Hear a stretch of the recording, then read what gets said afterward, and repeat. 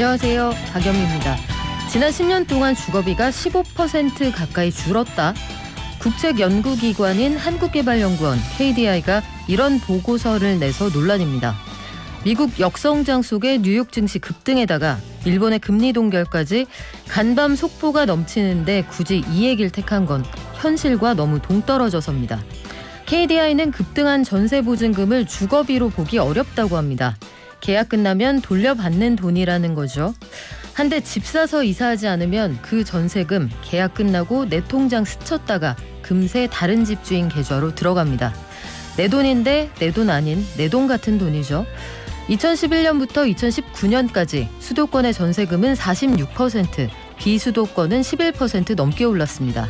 지난 2년은 말할 것도 없고요. 여러분 생각은 어떠십니까? 4월 29일 금요일 여러분은 지금 삶을 발전시킬 경제발전소를 듣고 계십니다.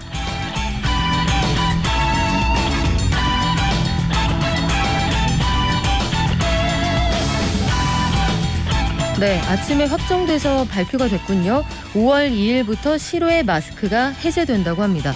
50인 이상 모일 때는 착용을 하셔야 하는데 이 얼마 만에 보는 코와 입입니까? 눈만 보다가 2년 만이네요. 아이들이 서로 학교 친구들을 못 알아본다 이런 얘기도 있었는데 분위기 많이 달라질 것 같습니다. 그리고 어제 인수위가 코로나19로 피해 입은 소상공인, 소기업에 추경이 통과되는 즉시 피해지원금 준다라고 했는데 보상 규모는 구체적으로 밝히지 않았습니다. 이건 새 정부 출범 이후에 발표한다고 하고요. 전기요금의 원가주의 원칙을 강화한다 이런 얘기가 있네요. 원가가 올라가면 전기요금 올리겠다 이런 얘기여서 앞으로 요금 인상이 자명한 상황이 되어 있습니다. 또 원달러 환율 최근 들어서 가장 많이 말씀을 드리는데 어제 여러 가지 정부의 노력에도 불구하고 1270원을 돌파했습니다. 또 금융위가 그 조각 투자에서 음원 저작권료 참여 청구권 일단 이름이 어렵죠. 여기에 투자 계약 증권에 해당한다는 결론을 내렸는데 후속 조치로 앞으로 가이드라인에 따라서 이렇게 거래해라 이런 내용을 발표했습니다. 어떤 내용인지 살펴보고요. 삼성전자 역대급 분기 매출 이 얘기는 한번 전해드렸는데 앞으로 경제 전망 함께 알아보겠습니다. 다양한 경제 소식 한국경제신문 구민기 기자가 전해드립니다. 또 저희 증시 들렀다가요. 트렌드 발전소 있는 날인데 오늘은 뉴페이스가 출격 대기 중입니다. 우리가 늘 사용하는 가전제품도 트렌드에 맞게 변화하거든요. 예전에는 믹서기부터 사고 나서 TV 샀던 것 같기도 하고요. 최근에는 어떻게 달라졌을까요? 김익근 쇼호스트와 함께 알아볼게요. 문화발전소에서는 드라마 파친코 여러 가지 이야기를 많이 남긴 그런 시리즈입니다. 세계적인 흥행을 거뒀죠. 전체 OTT 1등. 파친코 성공에 갖는 의미 또 경제적 효과까지 거의 없다. 영화 유튜버와 함께 김영대 평론가가 짚어주십니다. 저희 문자 받죠? 단문 50원, 장문 100원, 샵 0951하고요. TBS 앱과 유튜브도 열어두겠습니다.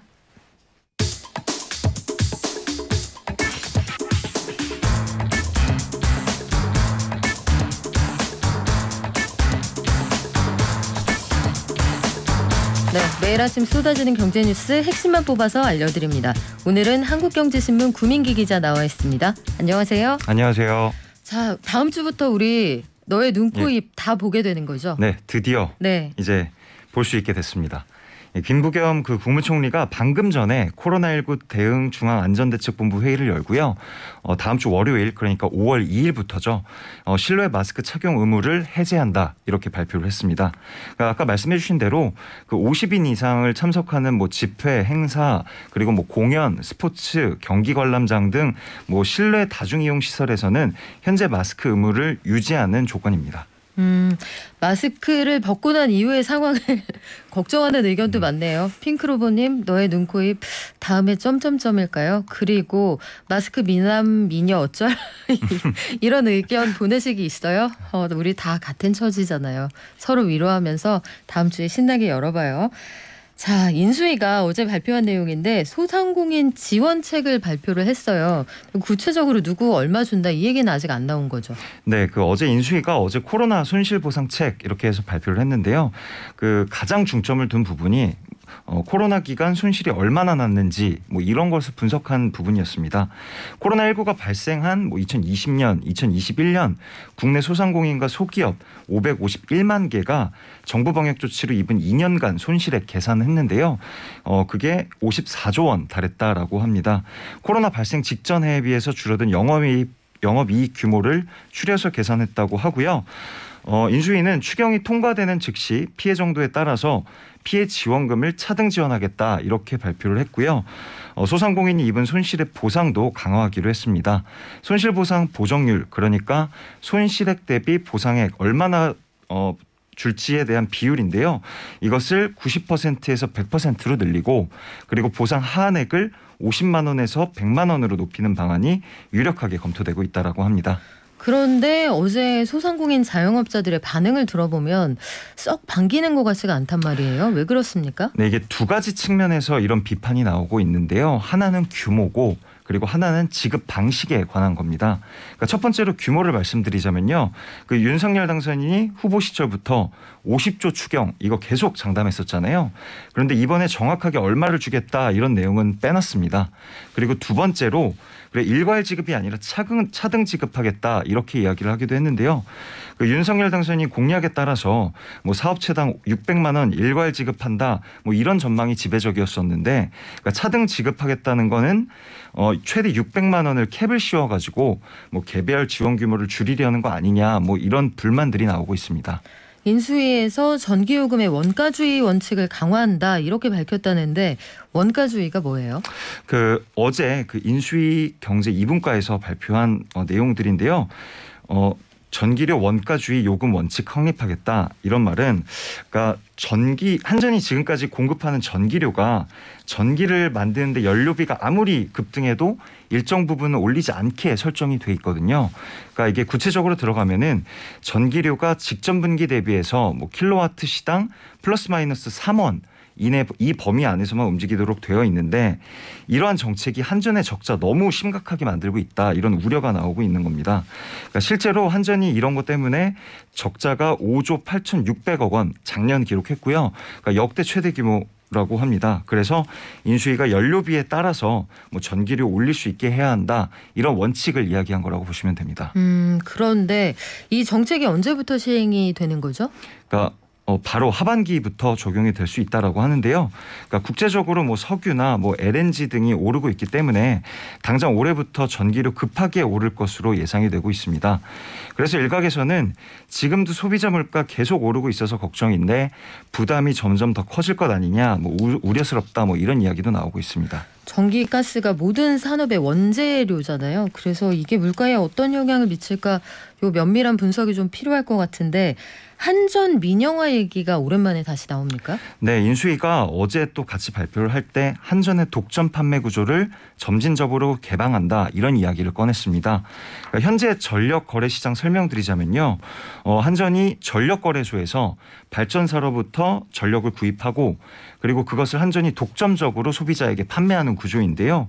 그러니까 제도가 변경될 경우에는 민간 발전 사업자가 수요자와 직접 계약을 맺고 또 직접 공급하는 구조도 가능해질 거다라고 합니다. 저는 웬만하면 시장에 맡기자는 주의이기는 한데 공공 인프라가 민간이 참여했을 때 발생할 수 있는 비용 부담 이런 것들은 면밀한 조사가 좀 필요합니다. 아주 오랜만에 나오는 얘기인데요. 이명박 정부 당시에 여러 가지 공기업 민영화가 추진이 됐었거든요. 이게 앞으로 어떻게 될지 공청회 이런 과정이 좀 필요하겠네요.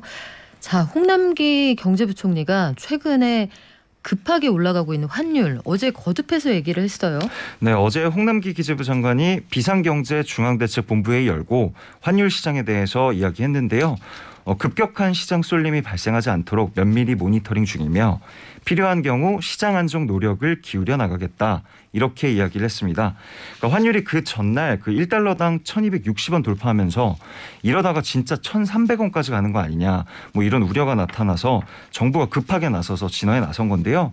어, 환율이 1260원 넘어선 게 그 경제 불확실성이 극에 달했던 코로나 확산 초기 그러니까 2020년 3월 이때가 마지막이었다고 합니다. 그만큼 네. 굉장히 네. 높게 빠르게 오르고 있다라는 것이죠. 말씀하신 것처럼 지금 통상적인 구두 개입의 단계를 좀 뛰어넘어서 경제부총리가 TV 앞에서 직접적으로 환율이 빠르게 오르고 있다. 예. 이 상황을 좌시하지 않겠다는 입장을 밝혔는데도 1270원 위로 올라갔네요.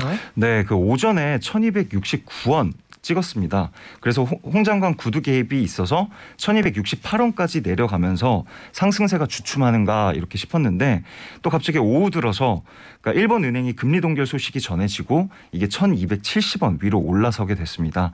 그러니까 엔저가 되면서 장기적으로 그러니까 한국 무역 수지가 악화될 수가 있잖아요. 이게 원화의 원화의 악재가 벌어지면서 또 환율이 올라가게 된 거고 그리고 1273.5원에 마감하게 됐습니다. 그러니까 결과적으로 홍 장관 구두 개입 별 효과, 효과가 없었던 것으로 나타났습니다. 추세적으로 지금 환경이 여의치가 않습니다. 자, 금융위는 조각 투자에 대한 가이드라인을 내놨다라고 하는데 저작권에 투자하세요라고 했던 그 회사, 그 회사 어떻게 투자하는지 그걸 알려준다는 거죠?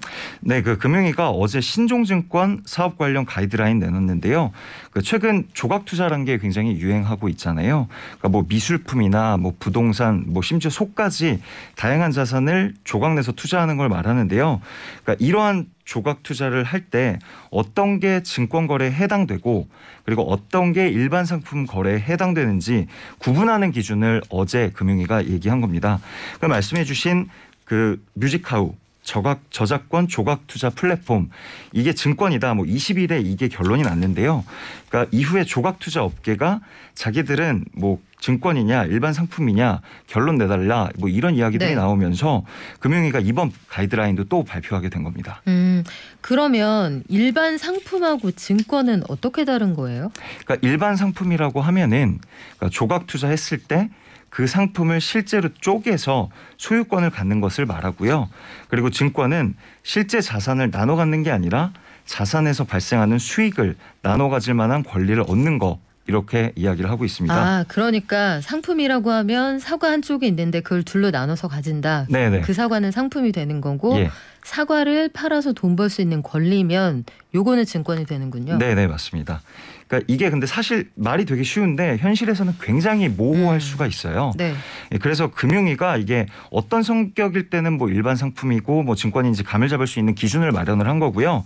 뭐 구체적으로 이야기를 하자면 그 조각 투자 플랫폼 사업자가 있잖아요. 네. 이 사업자가 어, 수익 이 사업자가 없이 수익 배분이 불가능하다 이렇게 됐을 경우에는 증권이고 그리고 반대로 뭐 개별적으로 사용을 할 수 있고 수익을 뭐 나눌 수 있고 뭐 처분이 가능하다 이러면 일반 상품이라고 할 수 있습니다. 뭐 구체적으로 어떤 게 증권인지는 밝히지는 않았는데요. 그러니까 이러한 기준을 토대로 조각 투자 플랫폼들이 자신들이 다루는 서비스가 뭐 어떤 성격의 서비스인지 짐작해 볼 수 있다 이렇게 얘기해 볼 수 있습니다. 그런데 사실 투자자 입장에서는 상품이냐 증권이냐 요거보다도 예. 내 돈을 보호받을 수 있느냐 네. 이거하고 돈을 벌 수 있느냐 이게 중요하거든요. 네, 네. 나누는 게 왜 중요합니까? 그런데 그러니까 이게 일반 상품이면은 해당 상품을 거래하는 플랫폼이 그러니까 민법하고 상법에 적용을 받게 되고요. 그리고 증권이라고 하면은 자본시장법 적용받게 됩니다. 이게 자본시장법 적용을 받게 되면은 플랫폼이 좀 까다롭게 투자자 보호 장치들을 도입해야 되고요. 뭐 예를 들어 가지고 뭐 플랫폼 망해도 투자자가 돈을 받을 수 있게 투자자의 예 치금을 외부 금융기관에 별도로 보관해야 한다. 뭐 이런 조치들을 들 수 있을 것 같습니다. 음, 삼성 오랜만에 다시 얘기를 하게 되는데 실적은 좋아요. 그런데 주가가 어제도 휘청이었단 말이죠. 네. 실적하고 주가하고 따로 가는 거 요 주가가 어제 언- 얼마까지 떨어졌습니까? 그러니까 굉장히 역대급 매출을 기록했음에도 불구하고 삼성전자 주가가 그 전날보다 0.31% 하락한 6만 4,800원에 마감을 했습니다. 이게 뭐 글로벌 인플레이션이다, 뭐 우크라이나 전쟁 장기화가 되고 있다, 뭐 중국 도시가 봉쇄되고 있다, 뭐 이런 여러 가지 이유들이 복합적으로 그러니까 악영향을 미쳤다, 뭐 이렇게 분석되고 있습니다. 음, 6월부터 한국 위성 1호기 발사, 한국형 항공 위성 서비스가 시작된다. 이건 어떤 의미가 있는 뉴스예요? 그러니까 어제 국토교통부가 한국형 항공 위성 서비스 카스라고 하죠. 여기 사업 주- 추진 정책위원회를 열었고요. 그리고 앞으로 어떻게 할 것인지 계획을 발표했는데요. 이게 가장 중요한 내용이 오는 6월에 항공위성 1호기를 발사한다는 내용이었습니다. 그러니까 이 위성으로 카스 시스템을 운영한다는 계획이고요. 그러니까 카스라는 거는 항공기의 정밀한 그 GPS 위치 정보를 제공해서 항공 서비스를 고도화하겠다 뭐 이런 시스템입니다. 그러니까 현재 일반적으로 GPS 오차가 17m에서 37m 정도 난다고 하는데요. 이거를 3m 수준으로 정밀하게 그 제공을 한다, 정보를 제공한다라는 것을 목표로 하고 있고요. 뭐 그간 총 사업비가 1,280억 원 투자해서 네. 전국의 7개 기준국, 뭐 2개 위성통신국, 뭐 2개 통합운영국, 뭐 이런 지상 인프라 구축하기도 했고요. 그리고 2023년 말에 항공용 서비스를 본격화한다고 했습니다. 음, 항공 관련해서 GPS 서비스가 좀 정교해진다. 국토부가 자랑하고 싶었던 거군요. 알겠습니다. 지금까지 한국경제신문 구민기 기자였습니다. 고맙습니다. 네, 감사합니다. 사회적 거리두기가 사실상 다음 주면 전면 해제가 되는군요. 마스크 벗는다고 합니다. 실내는 아직 아닌데요. 그래도 우리 건강 지키는 노력, 방역 수칙 지키기 한동안은 유지해야겠죠? 개미 한 마리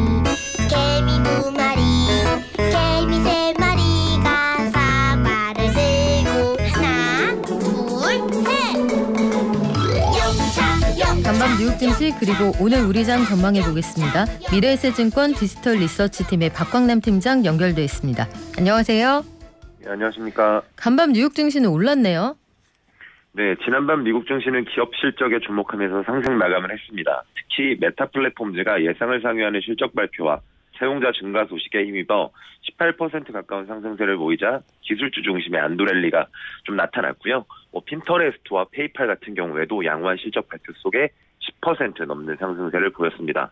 물론 장 초반에 미국의 GDP가 예상치를 크게 하회하면서 투자 심리에 부정적인 영향을 주기도 했지만 세부 항목을 보면 무역 수지 적자나 재고 투자 감소와 같은 영향이 커서 시장에 미치는 영향은 좀 제한적이었습니다. 다만 장마감 이후에 애플의 다음 분기 상하이 락다운 영향에 따른 뭐 실적 부진 이슈가 좀 있을 수 있다라는 언급과 아마존의 부진한 실적 발표 영향으로 시간의 시장에서 대형 기술주들이 전반적으로 약세에 전환된 부분은 조금 지켜볼 필요는 있어 보입니다. 이번 주에 실적 주요 기업들의 실적이 많이 나온다고 주초부터 예고를 해주셨는데 우리 중간 정산 한번 하고 갈까요? 네, 일단 미국 기업들의 1분기 실적 시즌이 5분 응선을 넘어가고 있는 상황입니다. S&P 500 기업 중에 절반이 조금 넘는 기업들의 실적 발표가 이어지고 있는데요. 레피니티브에 따르면 이 중에 81%가 시장 예상을 상회하는 긍정적인 실적을 발표하고 있습니다. 또한 주요 기업들의 실적 호조가 이어지면서 1분기 이익 증가율 추정치 역시 3월 말에 4.1%에서 현재는 7.5% 수준까지 상향 조정되는 등 기업 실적에 대한 기대감은 지속되고 있습니다. 특히 투자자들은 지난 1분기 실적뿐만 아니라 향후 가이던스에 더욱, 더욱 주목하는 모습을 보이고 있는데요. 뭐 아무래도 여기에 대한 이유는 성장에 대한 의문이 사실 커진 상황에서 지속적인 수익 창출과 성장을 하는 기업들에 대한 투자자들의 관심이 커졌기 때문이라고 봅니다. 장마감 이후에 이제 애플이 실적을 발표를 했습니다. 전년 대비 매출이 8.6% 증가하며 시장 예상을 좀 상회하는 순이익을 기록했다는 소식에 사실은 장 초반 장 마감 직후에는 한 2%에서 3% 내외 상승하기도 했, 했습니다만 또한 회사는 주주환원 정책에서 900달러 규모의 자사주 매입과 주당 배당금을 5% 인상하기로도 결정을 했습니다. 다만 conference call을 통해서 이 상하이 lockdown으로 인한 공급망 차질이 2분기보다는 3분기에 더 큰 영향을 미칠 것이라는 소식을 좀 전하면서 시간외 하락 반전을 했고요. 뭐 마이너스 4% 정도까지도 빠지기도 했는데 현재는 마이너스 2%대 하락을 하고 있습니다. 애플 같은 경우에 9월 결산이기 때문에 3분기가 통상적인 기업의 2분기라고 생각하시면 될 것 같습니다. 아마존 같은 경우에는 2015년 이후에 첫 분기 실적을 기록했다고 발표하면서 장마감 후에 시장에서 9% 가까이 하락을 하기도 했는데 현재는 마이너스 한 7% 수준으로 좀 보고 있고요. 회사 측은 최근 인플레이션, 국가적 노동력 부족 및 공급망 혼란으로 비용이 크게 증가했을 뿐만 아니라 올해 들어 65% 이상 급락한 전기차 제조업체인 리비안의 보유 지분 평가 손실이 좀 반영됐기 때문이라고 보시면 될 것 같고요. 또한 인텔 같은 경우에도 실적 발표가 나왔는데 컨센서스를 소폭 상회하는 실적을 발표하긴 했지만 부진한 가이던스 제시에 시간에 한 4% 가까운 하락을 좀 보였습니다. 개인 PC 수요 감소와 뭐 애플의 자체칩 도입 영향으로 기대치 자체가 낮았지만 더 낮은 가이던스를 발표한 영향으로 좀 추정을 하고 있습니다. 이렇듯 시장에서는 현재 기업들의 실적에 따라서 주가의 등락이 명확하게 갈리는 상황이기 때문에 아직까지도 대략 50%의 기업 실적 발표가 남아 있으니까 이 추세를 계속적으로 지켜볼 필요가 있어 보입니다. 반면에 간밤에 나온 미국의 1분기 GDP는 역성장이에요. 마이너스로 전환이 됐는데 증시가 그걸 아랑곳 안 하는 겁니까? 예상을 했다는 겁니까? 뭐 일단은 일부 부진할 것이라는 예상은 있었지만 그렇다고 하더라도 역성장 폭이 이렇게 좀 크게 나타났다는 점은 사실 부담으로 작용할 만한 내용이었습니다. 다만 세부 내용이 그렇지 않았기 때문에 관련된 내용을 좀 말씀을 드리면 일단 미국의 1분기 GDP가 아직 뭐 확정치는 아닙니다만 전년 동기 대비 1.4% 감소를 했습니다. 시장 예상치는 플러스 1%였던 만큼 꽤 그 수치 차이가 크고요. 발표된 헤드라인 수치만 놓고 본다면 2020년 2분기 이후에 첫 역선, 역선 성장인 만큼 시장에는 부정적인 영향을 줄 수도 있었습니다. 하지만 시장은 소비자 지출, 기업 투자 등 긍정적인 세부 지표에 좀 더 주목을 했다라고 보시면 좋을 것 같은데 이날 함께 발표됐던 주간 실업수당 청구 건수는 전주 대비 5천 건 감소한 18만 건으로 고용시장 개선이 더욱 뚜렷해지고 있음을 보여줬고요. 바이든 대통령이 성명서를 발표를 했는데 고용, 소비자 지출, 투자가 모두 강세를 유지하고 있다면서 경기 위축은 기술적인 요인 때문이라고 일축한 것도 영향이 좀 있었습니다. 세부 내용을 조금 살펴보면 미국의 1분기 경제 역성장을 주도한 건 무역 수지 적자와 재고 투자 감소 영향이 컸는데요. 글로벌 성장 둔화에 따른 수출 부진과 내수 및 달러 강세에 따른 수입 호조 영향으로 수출은 5.9% 감소했고요. 수입은 17.7% 증가함에 따라서 대외 무역 수지가 크게 악화가 된 겁니다. 이게 약 3.2포인트 성장 둔화에 기여를 했다고 보시면 될 것 같고 또 지난 4분기 성장을 주도했었던 재고 투자가 이번 분기에 크게 줄면서 한 0.8포인트 성장 둔화에 기여를 했다라고 보시면 됩니다. 반면에 미국 경제 활동의 3분의 2 이상을 차지하는 소비자 지출은 오미크론 변이 바이러스 영향에도 불구하고 지난 4분기 2.5% 증가해서 2.7% 증가로 상승폭을 더 확대를 했고요. 특히 자동차, 가구 및 가전제품 등 내구재 수요가 둔화되는 모습을 보인 반면에 서비스 분야인 레크레이션, 레스토랑 및 호텔, 의료 지출이 증가한 영향을 확인하실 수가 있습니다. 여기에 기업들의 설비 투자는 연간 9.2% 증가해서 1년 만에 가장 견고했고요. 장비 지출과 지적 재산에 집중한 것으로 나타났습니다. 결론적으로 현재 뭐 내구재 수요 둔화 같은 것들에서 확인할 수 있듯이 상품 수요의 둔화가 일부 나타나는 것은 사실이나 그 수요가 서비스로 넘어가면서 견조한 흐름 자체는 이어지고 있다라고 보시면 좋을 것 같습니다. 그리고 아마 작년까지 많이 샀을 거예요. 자동차, 가구 이거 맨날 사는 건 아니니까 오늘 우리 장은 어떻게 출발했나요? 네, 양대 지수 모두 상승 출발을 했고요. 미국 시장에서 후실적을 기록한 업종 업종 종목별로 강세를 보이는 실적 장세가 시작된 만큼 한국 시장도 유사한 흐름이 나타나고 있습니다. 사실 한국 증시의 전반적인 반등 입장에서 지켜봐야 됐던 가장 중요한 포인트는 역시 삼성전자 주가가 언제 반전할 것인가였는데 오늘은 조금 2%가량 강하게 상승을 하고 있습니다. 호실적에도 불구하고 경기 둔화에 대한 우려 속에 외국인들이 한국 증시에 대한 매도세를 유지하며 수급적으로 불리한 환경에 놓여 있었는데요. 외국인들은 삼성전자에 대해서 지난 3월 24일 이후 줄곧 순매수를 일관을 했습니다. 25거래일 연속 순매도를 했었고요. 이에 지수 반등을 위해서는 사실 대장주의 반등이 필요했던 상황인데 지금 삼성전자가 오늘 강한 반등을 주고 있다는 점에서 이 부분은 좀 포인트로 주목을 해야 될 것 같습니다. 물론 이제 미국 증시가 장마감 이후에 부진한 실적을 발표한 기업들 영향에 소폭 하락하고 있지만 또 낙폭을 줄이고 있다는 점에 주목을 하셔야 될 것 같고요. 또한 중국의 봉쇄 조치도 아직은 조금 더 지켜봐야겠지만 완화될 가능성이 좀 보이고 있다는 점도 투자 심리를 좀 개선하고 있는 요인으로 보여집니다. 물론 역시나 환율 부담이 가장 큰 네. 상황이긴 합니다. 그렇기 때문에 상승폭을 크게 확대시키기는 쉽지 않은 환경에는 맞지만 제가 전에 언급을 드린 것처럼 이제는 일정 부분 반전의 기제를 기회를 좀 찾아봐야 하는 타이밍이 아닌가라는 생각을 하고 있고 선물 시장에서도 좀 변화가 나타나는 게 외국인들이 4거래일 연속 선물, 선물을 좀 순매수하고 있다는 점도 하나의 포인트로 보시면 좋을 것 같습니다.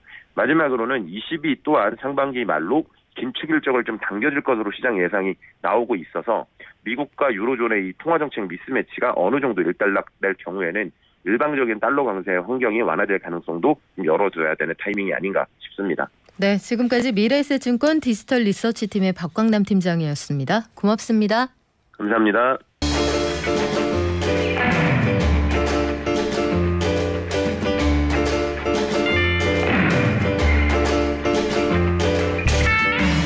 오랜만에 옛날 얘기 한번 해볼까요? 음, 뭐 그런 시절이 있었습니다. 저 국민학교 때는 집에 전자레인지 있는 사람 손 들어봐. 말도 안 되는 얘기죠.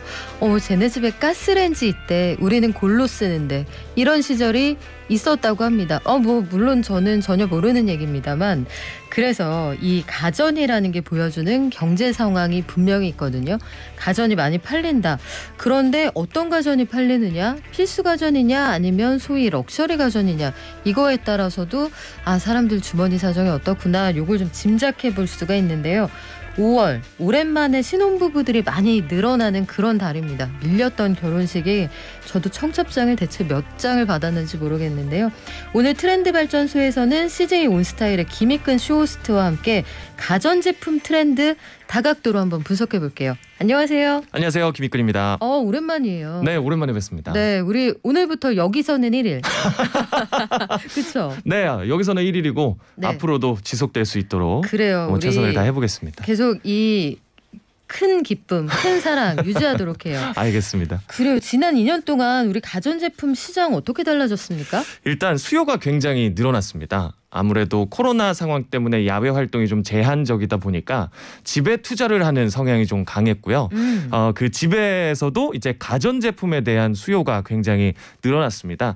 근데 이 어떤 가전들이 많이 늘어났는지 또 궁금해 하실 테니까 제가 키워드를 두 가지를 정리를 해봤는데 네. 먼저 첫 번째는 위생이었습니다. 위생. 우리가 밖에 나갔다가 돌아와서 손을 씻는 게 일상화가 된 것처럼 이제는 옷도 나갔다가 들어와서 씻고 싶다라는 마음 때문에 이제 L사의 스타일땡이라든가 음. S사의 에어드레 땡 같은 제품들이 많이 판매가 이루어졌고요. 나도 씻고 옷도 씻고. 맞아요. 네. 그리고 이제 건조기도 네. 단순히 건조가 잘 된다뿐만 아니라 살균 기능이 또 있거든요. 어. 그래서 옷을 더 깔끔하게 관리하고 싶다라는 마음에서 건조기도 많이 판매가 됐고요.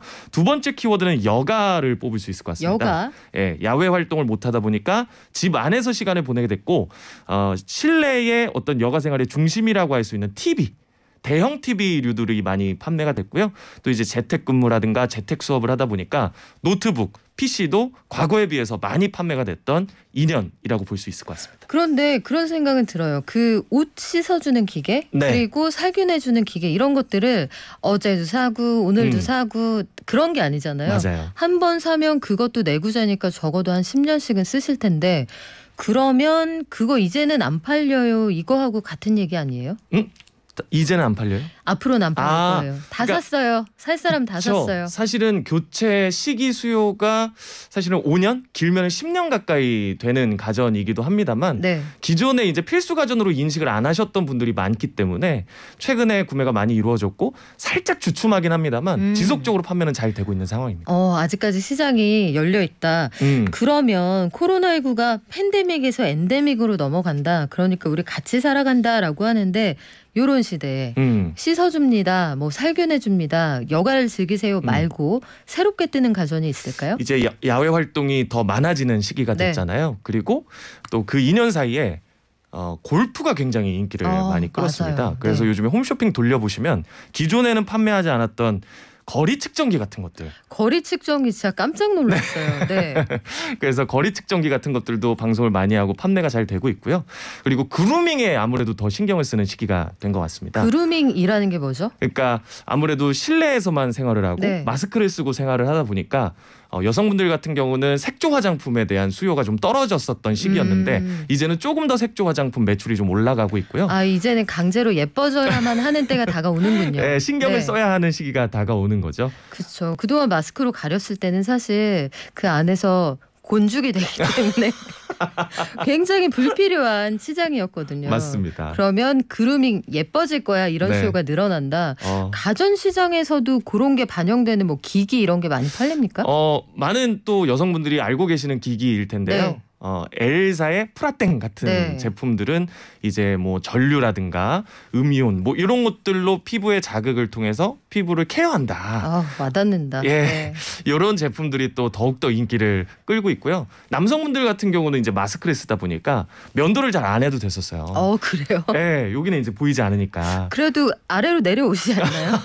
그거는 이제 조선 시대처럼 이제 수염을 길게 기르신 네네. 분들이고 일반적으로 짧은 수염을 갖고 계신 분들은 예전에는 하루에 한 번, 이틀에 한 번 했다면 일주일에 한 번, 뭐 4일에 한 번 이렇게 하는 추세였거든요. 그래서 전기 면도기도 좀 과거에 비해서 좀 많이 판매가 되고 있는 상황입니다. 자 여러분 좋은 시절 다 갔어요. 이제 마스크 뒤에 숨을 수 있는 날이 진짜 며칠 안 남았고요. 다음 네. 주부터 밖에서는 이제 마스크 안 써도 된다고 하는데 어 체리안님 기가 막힌 문장입니다.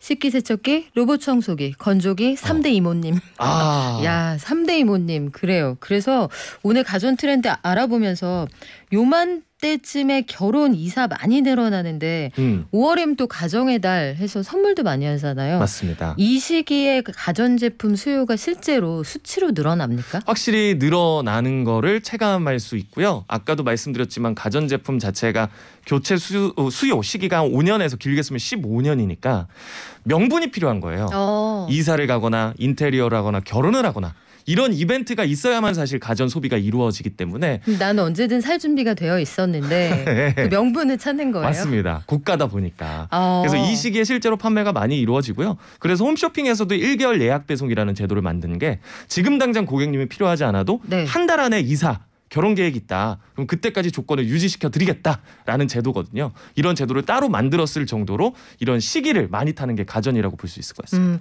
그러면 소비자 구매 팁도 하나 주세요. 보면 음.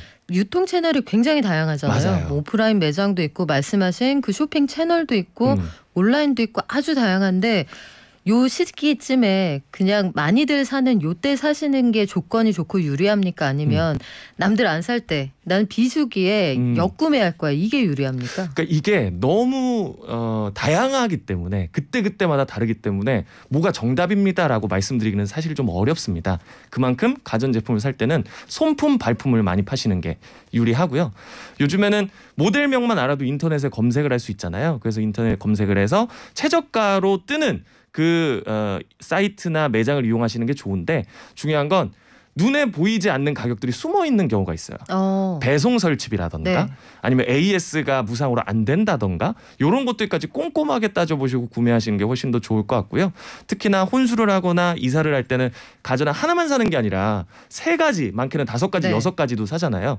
이렇게 대량 구매를 하는 경우에는 인터넷으로 사는 경우보다는 일반 오프라인 매장 같은 음. 곳에 나가서 이렇게 많이 살 건데 조금 더 할인해 주세요라고 하면 실제로 할인을 해줍니다. 어. 혜택을 또 많이 보실 수 있기 때문에 어떻게 몇 프로까지 가능해요? 아 그거는 이제 매장마다 다르기 때문에 제가 몇 퍼센트라고 이 그래요. 네, 전국 방송에서 발품, 예. 손품 게으르게 클릭만 할 생각하지 마. 그 아, 알아들었습니다. 네. 그러면 5월 하면은 또 결혼이 많단 말이에요. 뭐 맞습니다. 전통적으로 그랬습니다. 그리고 밀린 수요가 많아서 지금 연말까지 주말은 식장 잡기도 어렵다고 하는데 음. 신혼 가전이 보여주는 그 트렌디한 상품들 아. 있잖아요. 대표적으로 어떤 게 있습니까? 아까 댓글 올려주신 분이 네. 트렌드를 잘 읽고 계신 분인 것 같아요. 이게 삼신 가전이라고 해서 건조기, 식기세척기, 어. 로봇 청소기가 새롭게 떠오르는 가전이고 요즘에 결혼을 하는 젊은 신혼부부들이 꼭 사야 하는 가전이거든요. 삼신 가전. 삼신 가전. 아, 저도 오늘부터 써먹을게요. 삼신 가전이란 말 사실 처음 들어봤어요. 네, 그래서 네. 이 가전을 쓰기 전후가 삶의 질이 확실히 달라지기 때문에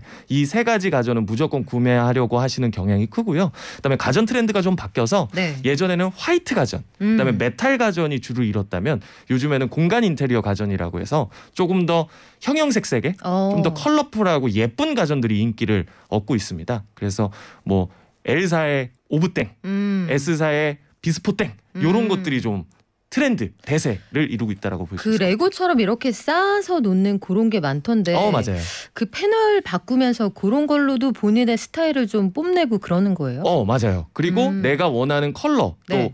특정 가전의 특정 컬러 같은 경우는 매장 나가 보시면 아시겠지만 몇 달을 기다려야 되는 경우도 있습니다. 아, 그것도 유행하는 색깔이 있습니까? 네. 뭐가 제일 인기가 많아요? 아무래도 기본적으로 베이지 톤과 핑크 톤, 아, 베이지 핑크 조합. 네 어, 그렇군요. 이런 것들이 좀 인기가 많고요. 그리고 음. 어, 물론 제조사에 따라 조금 다를 수 있지만 소정의 비용을 내면 이 컬러 패널을 또 교체할 수 있어요. 음. 그래서 3년 쓰다가 5년 쓰다가 좀 지루해졌다라고 느끼면 새 것처럼 바꿀 수 있기 때문에 지속 적인 측면에서 봤을 때도 경제적으로 이득일 수도 있을 것 같다 이런 생각을 해봅니다. 백색 가전이라는 단어가 이제는 무용한 시대가 금방 오겠군요. 어. 백색 아니고 컬러 가전인데 네, 5월하면 이런 결혼 그리고 이런 것들 많이 준비한다. 음. 어린이들도 굉장히 기다리고 있어요. 지금 막 저 해외에서 전 세계에서 어린이들 택배 오고 있을 거예요. 네. 그 다음 주 겨냥해서 어린이 가전에는 트렌드가 있- 없습니까? 일단 뭐니 뭐니 해도 그 게임기를 좋아하겠죠. 아 게임기. 예, 휴대용 네. 게임기 그래서 포켓몬이나 음. 아니면 그 동물의 숲으로 유명한 엔사의 게임기 네. 아마 아이들이 선물 받으면 무조건 좋아할 거라는 생각이 들고요.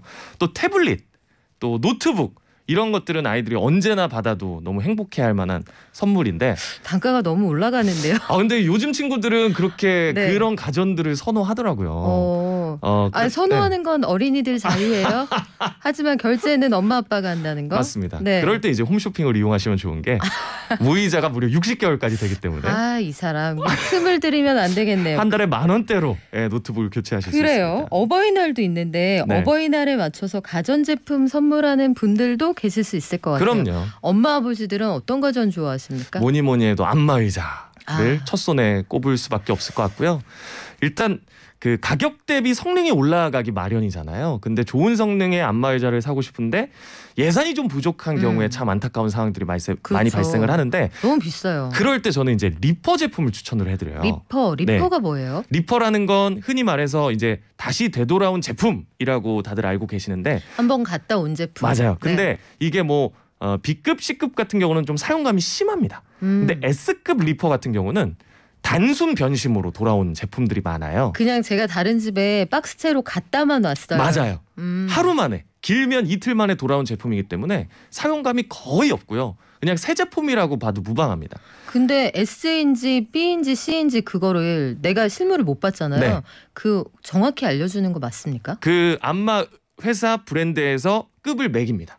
자체 아, 기준으로. 다시 받아서 네. 검품을 해보니 이 친구는 A예요, B예요, C예요 써준다고요. 맞습니다. 그래서 S급 같은 경우는 사용감도 없고 새 제품과 다름없고 가격 차이는 새 제품 대비 30%에서 40% 가량 더 싼 제품도 있기 때문에 오. 이게 리퍼라고 해서 무조건 중고 이렇게 생각하는 것도 어 조금 내려놓으시면 어떨까. 어, 그 합리적인 소비 트렌드가 될 텐데 네. 검색하면 그런 사이트 되게 많이 나오죠. 어 많이 나와요. 어, 근데 만약에 샀어요. 네. 샀는데 S라더니 C이고 1억이 있기 없기 이러면 어떡해요? 근데 보통은 그런 판매처에서 3일 내에 환불 가능, 음. 뭐 교환 가능 이런 걸 내세우기 때문에 아 나 속았어 이런 경우는 거의 없지 않을까라는 어. 생각을 해봅니다. 박스 열어서 거기에서 확인을 하셨을 때 제품 소개랑 다르면 요거는 교환 음. 환불이 된다. 맞습니다. 그렇군요. 그러면 1인 가구로 한번 가볼까요? 네. 요즘에 뭐 나 혼자 사시는 분들 참 많은데 음. 1인 가구들 1인 가구 비율이 이미 40%를 넘어섰다라고 하는데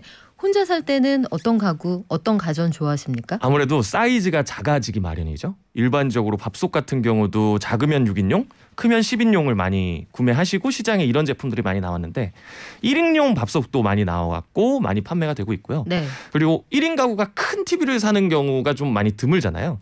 그래서 L사의 스탠바이 땡 같은 음. 이제 거치형 태블릿 PC 같은 제품들도 돈이 있어도 물량이 없어서 못 구할 정도로 그거 이젤 같은 데다가 TV 스크린 맞아요. 올려놓는 거잖아요. 네. 그거 되게 비싸던데. 그게 좀 비싼데 네. 그걸 또 많이 사셔가지고 아, 어, 물량이 잘 없고요. 그 리셀이라고 하죠. 네. 그 거래가 거의 원가의 10만 원에서 20만 원 더 돈이 붙어서 거래가 될 정도로. 아니 운동화에 스웨트 티셔츠에 이어서 이제 TV까지. 네. 아 그런 시대가 왔군요. 다양한 가전제품 트렌드 이렇게 살펴봤는데 우리 마지막으로 앞으로 어떻게 될 것 같아요? 앞으로 제가 가전만 한 9년 정도 팔았어요 그 홈쇼핑에서. 우리나라에서 그 손꼽히는 가전 전문 쇼호스트잖아요. 네, 아, 또 감사하게 또 그렇게 표현해 주셔서 감- 감사합니다. 뭐 예. 사실은 사실이니까. 네. 어, 지금까지 흐른 시간에 보면 좀 슬프지만 가전이 점점 비싸지고 있는 것 같습니다. 어 비싸지고 고급화되고 있는 것 같아요. 하나를 사도 네. 본인의 정체성을 투영한다. 네, 그러니까 한 번 사면 10년 가까이 쓰는 제품이다 보니까 네. 그 당시에 내가 진짜 갖고 싶은 거, 진짜 내 마음이 끌리는 제품을 사시는 게 요즘 트렌드인 것 같고, 그래서 조금 더 단가가 나가더라도 디자인에 신경 쓰고 더 기능에 신경 쓰는 그런 가전들이 앞으로도 더더욱 더 잘 팔리지 않을까 그렇다면. 기업들의 기회도 그쪽에 있겠군요. 네. 예쁘고 멋지고 신미성이 뛰어난 거 알겠습니다. 다음 시간에도 재미있는 유통 시가 유통 소식으로 돌아와 주세요. 네, 알겠습니다. 지금까지 김익근 쇼호스트와 함께했습니다. 고맙습니다. 고맙습니다.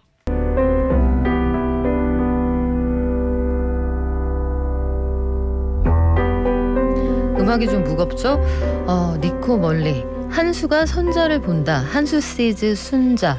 문화발전소 오늘 시작하면서 들려드리는 이 노래는 애플 TV의 그 파친코 OST입니다. OST로 시작을 하면서 약간 가라앉는 노래를 왜 틀어드리느냐 스토리가 좀 짐작이 되시죠?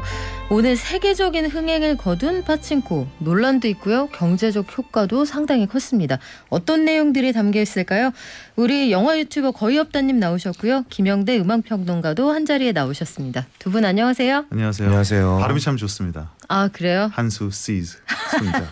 아메리카에서 오래 사신 선자. 분이 인정해 주니까 좋네요. 저는 아메리카에 뭐 단기 체류만 해봤습니다. 단계제로. 뭐 아메리카에서 오래 사신 분도 오래 사신 분 나름이죠. 아 그런가? 예. 누구 말씀하시는 거예요 지금? 아니 이 빠친코라는 드라마 이 시리즈가 저는 요거 보고선 마음이 먹먹해서 사실 그날 못 잤어요. 아. 본지 한 일주일 이상 지났는데 네. 빠친코 열풍이 뜨겁습니다. 지금 전 세계에서 얼마나 트리밍이 됐습니까? 그거를 애플이 밝히고 있지는 않습니다. 왜 비밀이죠? 아, 그건 애플만 알 테고요. 안 가르쳐 줄 거야 이런 거예요? 이게 아마 네. 뭔가 자신들의 작품이 수치화되는 걸 별로 원치 않는 것 같아요. 음. 코다 같은 경우에도 사실 국제 영화제에서 상을 받 아카데미 네. 영화제에서 작품상을 받았기 때문에 자기네들은 아마 이런 쪽으로 승부를 한다라는 이미지를 심어주고 싶은 것 같습니다. 음, 우리는 작품성이야. 네, 그러니까 자기네들 전자제품도 네. 명품 전략을 이미 오래전에 택했잖아요. 아마 컨텐츠도 그런 절, 노선으로 가고 있는 게 아닌가. 우리 건 한정판이야. 네, 그러니까, 음. 그러니까 모두가 원한다고 해서 다 볼 수 있는 것도 아니고 애플 기기 있어야 되고 애플 TV 있어야 되니까 물론 뭐 어둠의 경로를 통한다면 누구나 볼 수 있습니다만. 그러니까 그게 알기가 어려워요. 왜냐하면 네. 지금 뭐 전 세계가 모두 열광하고 있는데 일본만 지금 좀 반응이 시원찮다 이렇게 말하는 것도 있지만 네, 그런 이야기가 나오는 것 자체가 사실은 애플 TV 자체 그 애플 TV 플러스 자체 점유율이 예. 얼마 안 돼요. 일본 같은 경우는 음, 그 넷플릭스 70, 네, 아, 아마존 70인가요? 그리고 네. 뭐 넷플릭스 20 이렇게 빼고 나면 어 반대일 수도 있습니다. 지금 제가 숫자를. 근데 그러고 나면 사실 나머지 파이가 없거든요. 그렇죠. 그러니까 지금 애플 TV 플러스가 뭐 작품성으로 승부하고 뭐 다양한 컨텐츠를 확충하고 있지만 아직 그 플랫폼 자체의 지배력이 네. 떨어지고 있기 때문에 음. 우리가 이게 지금 정확히 어느 정도의 지배력이다 이런 걸좀 말하기 좀 어려운 것 같아요. 그- 그냥 이런 거네요. 우리 이번에 성적 많이 올랐어. 음. 몇 등에서 하지만 얘기는 하지 않아. 어디에서 오른 거야? 몇 몇 층에서 이런 얘기네요. 근데 제가 그 구글 네. 트렌드를 검색을 해봤는데 네. 굉장히 고루 지금 인기가 높고 전 세계에서 네, 전 세계에. 네. 그리고 이제 그 저 러시아 쪽 있죠? 네, 지금 러시아는 이제 어, 카운트가 되고 있지 않지만은 예.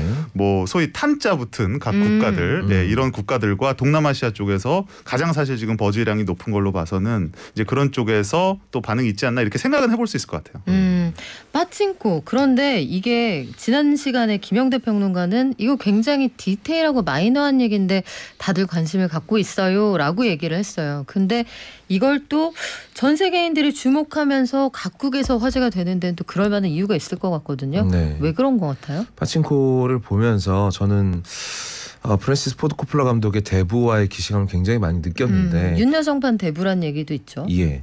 그런데 대부라는 얘기도 대부가 갖고 있는 서사 역시 이탈리아 사람, 이탈리아 가족이 미국에 와서 정착하는 얘기거든요. 그전 세계 사람들이 그렇게까지 좋아할 서사는 아닙니다. 그런데 왜 그렇게 전 세계 사람들에게 어, 인정받고 사랑받는 영화가 되었는가? 저는 어, 사람의 인생에서 가장 매혹적인 것들 몇 가지가 이 이야기 안에 포함되어 있다라고 생각이 돼요. 일단 모험이 있고요. 모험. 네. 다른 곳에 가서 정착을 한다는 것 자체가 거대한 모험에 대한 이야기이기도 하거든요. 그리고 가족 얘기, 사랑 얘기가 나오게 돼요. 그리고 대서사시 그러니까 우리가 영화 한 편으로 전달받을 수 있는 정보량보다 훨씬 많은 정보량을 이 파친코라는 드라마를 통해서 전달받을 수 있어요. 훨씬 더 서사가 장중하게 갈 수 있다는 것이죠.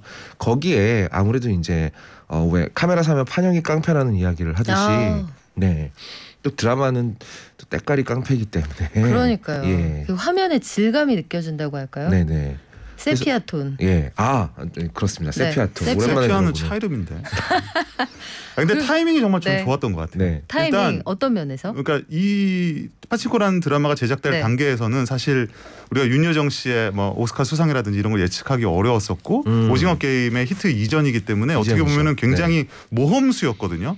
근데 결과적으로 보면은 K 드라마가 일단 깔아놓은 그 판이 토양이 있죠. 있죠. 예 네. 그리고 그 포맷에 익숙해져 있는데 이건 물론 K 드라마라고 우리가 공식적으로 말할 수는 없지만 상당 부분 우리가 그런 것들 뭐 기시감이라고 할 수도 있겠고 친밀함 같은 걸 느낄 수가 있고 윤여정이나 그 밖에 한국 배우들에게 느끼는 외국 팬들의 이질감들도 거의 없단 말이에요. 네. 그러니까 그런 식의 타이밍이 굉장히 좋았고 특히 미국에서는 저는 특히 미국에서는 이 디아스포라의 이야기는 여전히 어 매력적이다. 물론 이게 mainstream적인 매력도는 없지만 네. 이거를 어 뭐 말씀하셨듯이 소위 말하는 이런 훌륭한 때깔로 만들어냈을 때 아, 사람들이 아 이 정도의 이야기를 이렇게 음. 흥미롭게 보여줄 수 있다는 것 자체가 사람들이 어떤 보편적인 좀 코드를 건드리는 게 아닌가 왜냐하면 제가 이야기해본 많은 외국인들이 이거를 한국 이야기로도 받아들이지만 음. 자신들의 이민사와 어, 겹쳐서 이거 우리 할머니 얘기다. 음. 음, 우리 동생 얘기다 이런 식으로 많이들 해석을 하더라고요. 음. 좀 그런 점이 있지 않나 생각이 들어요.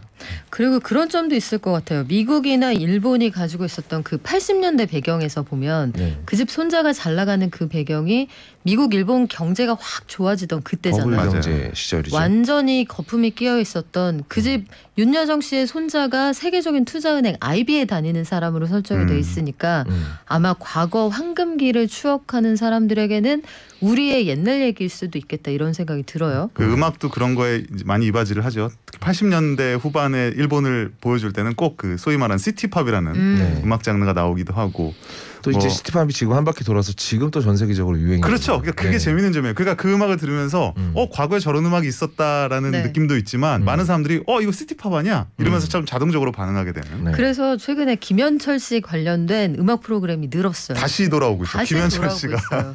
김현철 씨 아시죠 다들? 네, 네. 네. 춘천 뭘- 가시려다가 대성리 가신 분. 뭘 하나 제대로 만들어 놓는 게 중요하다. 그러니까요. 네. 그런데 두 분 보시기에 파친코에서 여러 가지 명장면이 있었습니다만 우리 업다님이 보시기에는 어떤 장면이 딱 뇌리에 남아요? 저는 어 한국 드라마가 품고 있는 소위 이제 외국 사람들이 보기에 한국 드라마가 종종 몇 가지 부분에서 지나치게 폭력적이다. 음. 특히 남자 주인공이 여자 주인공을 대하는 태도가 폭력적이다라는 평가를 받는 것들이 많거든요. 근데 이 파친코라는 드라마는 한국의 이야기지만 한국 드라마는 아니에요. 그러니까 한국인의 정서가 야 마치 뭔가 좀 뭐랄까요?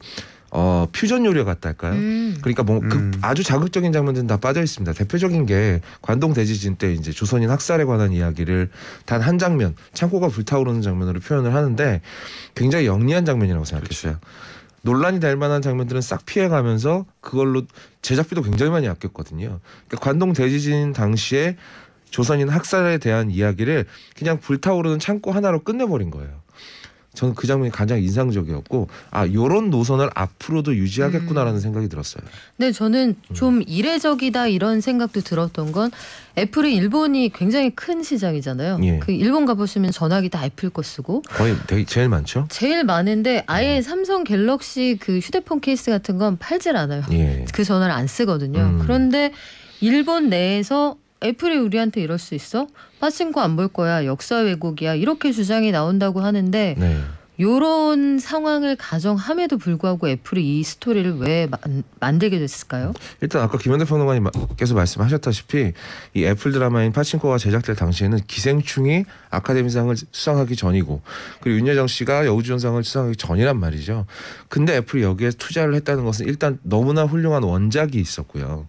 뭐 오바마 대통령도 이거 읽어보고 나서 추천을 작가의. 네, 추천을 하기도 했었고 저는 배팅이라기보다는 굉장히 안정적인 쪽을 택했다고 생각해요. 오히려 네, 좋은 원작. 만약에 이게 어 포드코플러가 영화로 만들기 전에 대부라는 소설이 빅히트를 했지 않습니까? 그런 것처럼 여기서 어떤 두 가지 냄새를 맡은 것 같은데 어 동아시아를 포함한 전 세계 사람들이 좋아할 만한 콘텐츠의 냄새가 난다는 것과 또 하나는 영화제 상의 냄새, 냄새가 난다는 것이죠. 어, 음. 심지어 그 와중에 작품성까지. 네. 그러니까 애플이 지금 추구하려는 방향, 그러니까 지금 OTT 시장이 안 그래도 포화 상태인데 여기서 양으로 승부하게 되면 어, 승부가 안 난다라고 아마 자체적으로 결론을 내는 게 아닐까. 넷플릭스하고 상대하기가 만만치가 않죠. 네. 그럼 그리고 또 HBO 같은 경우에는 또 자체 컨텐츠가 지금까지 쌓아져 있는 게 어마어마하기 때문에 살아생전에 다 보고 죽을 수 없을 것 같아요. 그렇습니다. 저는 지금- 좀 하나 다른 해석을 덧붙이자면 음. 지금 애플을 비롯해서 미국의 mainstream 인, 그 엔터테인먼트 시장이 음, 한국에 손을 들어주고 있다. 음. 한국이 한국을 왜 손들어줘야 되죠? 그러니까? 실제로는 그 영화 산업 특히 뭐 거엽다님 잘 아시겠지만 일본은 주로 유럽 쪽과 연관이 많이 되어 있었죠 과거에도 네. 그러니까 유럽 일본 지향적이죠. 어, 네. 작품이 일, 어, 유럽에서 인정을 받거든요. 근데 한국은 최근에 그 뉴웨이브 소위 말하는 90년대 이후 2000년대 이후에 한국 감독들은 음. 굉장히 미국 친화적이에요. 음. 그리고 컨텐츠가 미국과의 어떤 정서적인 면이나 장르적인 면 같은 것들이 굉장히 이게 뭐랄까요 더 교류 가 잘 돼 있는 느낌이죠. 그래서 우리 미국하고 잘 맞네 이런 아, 거예요. 코드가 맞는 거죠. 그러니까 음. 미국 시장 입장에서는 일본에서의 평판과 손해를 감수하고라도 지금 떠오르는 한국 시장 그리고 한국 소비자 혹은 범 한국계 소비자를 잡는 것이 유리하다라고 좀 잠정적으로 결론을 내린 게 아닌가라는 생각을 저는 해요. 뭐 음. 의심이긴 하지만. 취사 선택. 음. 충분히 개연성이 있네요. BTS에 열광하는 미국 소녀들 생각해 보면 충분히 그럴 수 있을 것 네. 같아요. 그렇죠. 그리고 저는 어 일본의 문화 콘텐츠는 이미 오래전에 갈라파고스화가 됐기 때문에 앞으로 시장성을 보더라도 당연히 한국 쪽을 선택하는 음. 것이 합리적인 선택이었다고 봐요. 그러네요. 일본 영화나 일본 시리즈들도 가끔 우리가 접하는데 더 네. 이상 우리의 마음을 흔들지 못한다 이런 느낌 들 때가 많거든요. 그렇죠. 러브레터 참 좋았었는데. 그 이후로는 없었던 것 같아요. 원령공주 러브레터 이후로. 예, 원래 처음에 이제 일본 영화 처음에 수입된다고 했을 때 이러다가 우리나라 영화 사업 다 망한다고 다 죽는다, 다 망한다 그랬죠. 예, 그렇게 설레발들을 쳤었죠. 하지만 멀쩡했습니다. 그래서 그런 네. 생각도 들더라고요. 우리 한때 홍콩 영화, 느와르 영화의 전성시대 있었는데 네, 지금 보면은 물론 그런가요? 여전히 멋진 것들이 있습니다만 거의 어, 없습니다. 거의 예, 없어요. 예, 예. 첩혈상웅도 아마 마지막에 왕대륙 씨가 출연했던 그 음. 3인가 4까지 나왔죠. 첩혈 쌍웅 그때 이후로는 우리가 안 본 것 같아요. 그렇죠? 사실 이제 어, 죄송합니다. 홍콩 느와르의 마지막 불꽃은 무간도 시리즈가 아. 음. 2000년대 이제 초반을 한 번 잠깐 장식했고요. 그 다음에는 완전히 사그라들어서 지금 또 중국 정부하고 사이도 별로 안 음. 좋아가지고요. 영화 투자도 잘 이루어지지 않고 인상적인 드라 아, 작품들이 전혀 나오고 있지 않아요. 잘 만들고 힙한 스토리가 한국에 네. 있었고 여기에 미국의 자본이 결집해 있다. 음. 이렇게 정리가 되겠네요. 그렇습니다. 그렇습니다. 네. 뭐 어떤 이들의 어떤 이야기를 궁금해하는가 이게 하나의 기세라고 보는데 음. 지금 전 세계 시장에서 더 극적인 이야기들이 많이 있죠. 네. 더뭐 숨겨진 이야기들 많이 있지만 한국에 관련한 이야기들을 듣고 싶다. 음. 그것이 사람들이 즐기고 싶은 알고 싶은 이야기다라는 공감대가 우리가 음. 모르는 사이에 이렇게 퍼져나간 거죠. 그래요. 아침부터 뭐 국뽕이다 이런 말씀도 있긴 한 있습니다만 네. 그래요. 저는 그래도 파친코를 통해서 가슴이 웅장해지는 금요일 괜찮습니다. 음. 두분 오늘 비 오는데 아침에 고마워요. 아, 고맙습니다. 고맙습니다. 자, 저희 오늘 무간도 one two three 뭐 난리 났네요. 첩혈쌍웅, 천장지구 그래요. 알겠습니다. 동시상영관에서 보신 분들도 계시겠죠? 자, 다음 주 월요일까지 우리 건강하게 보내고요. 월요일부터 마스크 안 쓰는 세상에서 다시 만날게요. 발전.